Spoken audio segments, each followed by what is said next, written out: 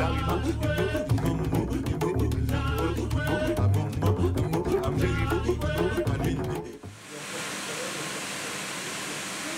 là, nous nous trouvons dans l'unité de production Saladinina.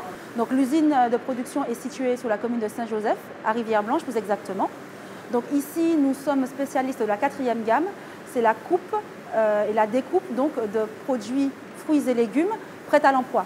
Donc, aujourd'hui, donc, nous faisons euh, de la laitue en sachet en direction de nos différents clients, donc restauration rapide, grande surface et divers traiteurs.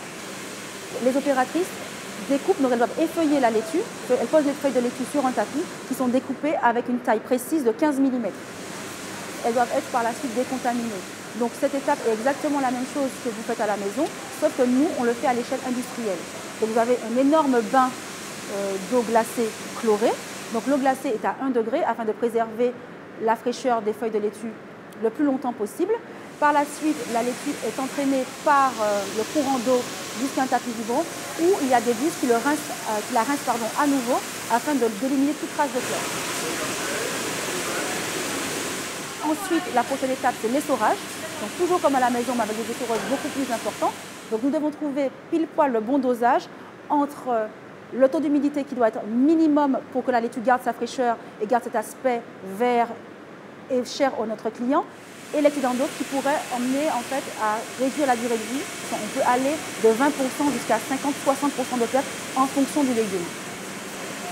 Aujourd'hui, par rapport aux livraisons de demain, nous allons traiter, nous devons sortir environ 400 euh, kg de produits finis. Et cela va nous faire euh, traiter entre 700 et 800 kg de matières premières brutes. Donc une fois qu'on a quitté la zone de parage, on passe en zone de conditionnement. Donc là, c'est la mise en sachet et la mise en carton afin de préparer les commandes pour livraison le lendemain. Donc cette machine en fait est capable de faire jusqu'à 28 sachets minutes.